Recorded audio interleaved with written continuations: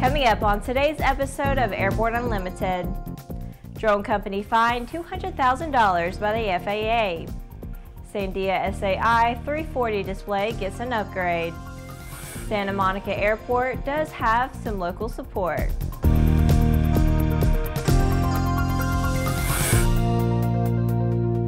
Hello, I'm Laura Hudson. It's January 19th and this is Airborne Unlimited. A settlement agreement has been reached between the FAA and drone operating company Skypan International of Chicago. The agreement resolves enforcement cases occurring between 2012 and 2014 that allege the company operated unmanned aircraft in congested airspace over New York City and Chicago and violated airspace regulations and aircraft operating rules. Under the terms of the agreement, Skypan will pay $200,000 civil penalty. Additional penalties apply if the company fails to comply with the terms of the settlement agreement. The agreement settles original enforcement cases involving a $1.9 million civil penalty that the FAA proposed October 2015. The alleged violations occurred at a time when commercial drone operators were required to operate under a certificate of waiver. Skypan also agrees to work with the FAA to release three public service announcements in the next 12 months to support the FAA's public outreach campaigns that encourage drone operators to learn and comply with drone regulations. The FAA has granted Sandia Aerospace an additional Technical Standard Order authorization, commonly simply referred to as a TSO, on their popular SAI 340 Quattro multifunction indicator. In addition to indicating attitude, altitude, airspeed, and slip, the SAI 340 is now TSO to allow indicating instantaneous vertical speed. This sort of instrumentation is commonly referred to as an IVSI. Unlike a standard vertical speed indicator that has a 6 to 8 second lag when indicating vertical speed changes, the SAI 340 IVSI gives virtually immediate vertical speed indications. The vertical speed is shown on the SAI 340 in both a tape and digital format. In addition to the adding of the IVSI, the new software version also adds an adjustable altitude bug. Existing SAI 340 operators can arrange to have their units upgraded to the latest software by contacting the Sandia Aerospace Service Department. After the break, Santa Monica resident supports the airport. The dream is real, a truly affordable personal jet aircraft. The SubSonex Personal Jet Kit is priced at only $42,000. Kit plus engine is still under 100K. Add instruments, upholstery, and paint and you're flying. It's time to put your money where your bucket list is. Learn more at sonexaircraft.com. Since the early days of powered flight, pilots have struggled with landing in crosswinds. In fact, crosswinds and wind gusts cause more landing accidents than fog, thunderstorms, and icing combined. That's where the Redbird X-Wind SE comes in. By placing pilots in gusty crosswind conditions for extended periods of time, the X-Wind SE gives instructors all the time they need to teach the pilot the proper techniques for landing in crosswind conditions. For more information on Redbird X-Wind SE and Redbird's entire line of flight training devices, visit the Bristell Light Sport aircraft is what you are looking for. The Bristell is wider than a Cirrus, faster than a Skyhawk, offers more storage than a Husky, and comes standard with Garmin avionics. So what are you waiting for? Visit Bristell.com to find out how you can get into a Bristell today. Welcome back. If you would like to be a supporter of Airborne Unlimited, send an email to jim at aero-news.net.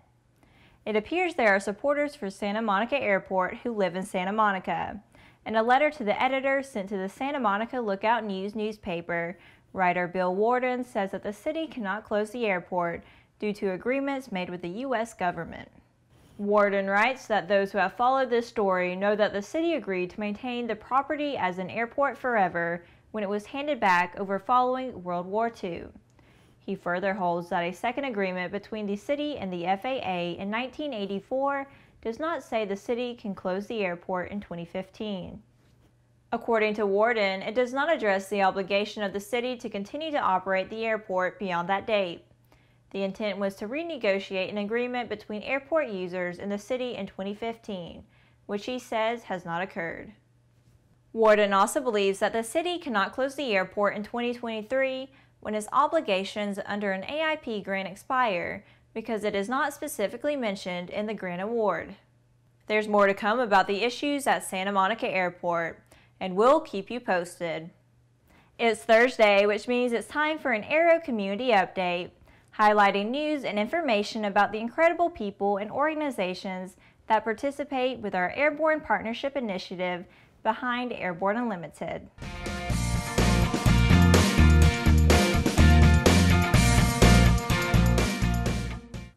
The Unmanned Vehicle Systems International Organization, better known as AUVSI, says their mission is to shape global policy by advocating on behalf of unmanned systems and robotics community, monitoring legislation and assessing the global impact of the industry to ensure that obstacles to advancing and fielding these technologies are removed. Now, the Aero News Network, in support of their mission, has teamed with AUVSI to create the Exponential Innovation Preview to highlight the expected news at AUVSI's Exponential 2017, the world's largest conference and exhibition devoted entirely to unmanned systems and robotics. It all kicks off on May 8th and runs through the 11th in Dallas, Texas this year. The Exponential Innovation Preview is a multi-hour program offering three to four minute online multimedia presentations that will give a glimpse of the new products and latest innovations that will be on display at Exponential 2017. It will be posted and distributed to dozens of venues and syndication outlets starting the week before the event and will be available on AUVSI's website Aero News Network, YouTube, Vimeo, and other channels for sharing, viewing, linking, and embedding. AUVSI's Exponential will feature more than 650 exhibitors from multiple domains and industries. If you can't be there, ANN will bring it to you. After these messages, the FAA issues emergency AD for Sikorsky S-92 helicopters. There's a difference between charting a steady course and pushing for the ceiling.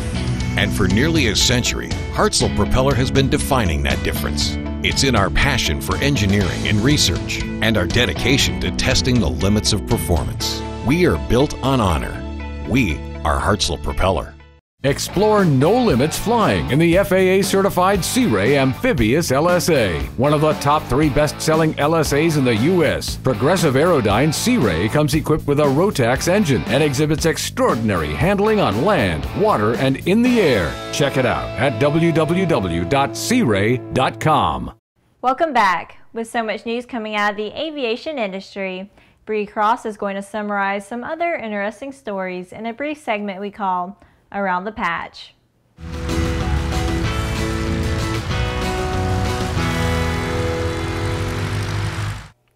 Thanks, Laura.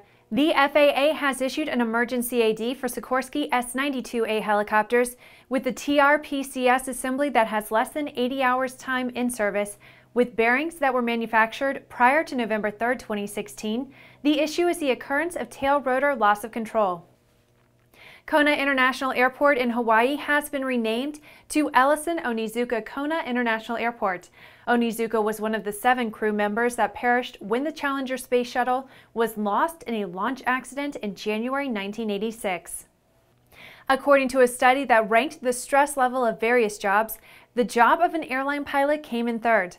11 areas of stress were cited for airline pilots in the report, and being in an airplane was not the most stressful item. Aircraft brokerage firm JBA Aviation has announced the appointment of Jon Taylor to president of JBA Aviation Inc. The company reports that Mr. Taylor brings a strong technological and aviation background to his new leadership position. Embraer has signed a contract with Widerflug, the largest regional airline in Scandinavia, for up to 15 E2 family jets. The order has a potential list price value of up to $873 million if all orders are converted. Well, that's the trip around the patch. Back to you, Laura. Thanks, Bree. Malaysia Airlines flight MH370 vanished from radar nearly three years ago, leaving the world wondering what happened to the Boeing 777 on a flight from Beijing to Kuala Lumpur. The world may now never know. Malaysian, Chinese, and Australian officials issued a joint statement Tuesday saying they had done all they can to locate the missing airliner, and the search was being indefinitely suspended. To date, the search effort has cost $145 million. The official said in the statement, quote, Despite every effort using the best science available, the search has not been able to locate the aircraft. The decision to suspend the underwater search has not been taken lightly, nor without sadness. Malaysia Airlines says that it believes the search has been thorough and comprehensive, and it stands guided by the decision of three governments to suspend the search. Well, that's our program for today. Remember that Airborne Unlimited is streamed daily, Monday through Friday, with additional breaking news bulletins for important stories that fall outside of our normal deadlines. If you're watching us on YouTube, please subscribe, and do check us out on Facebook and Twitter. Get comprehensive, real-time, 24-7 coverage of the latest aviation and aerospace stories anytime at aero-news.net. See you tomorrow.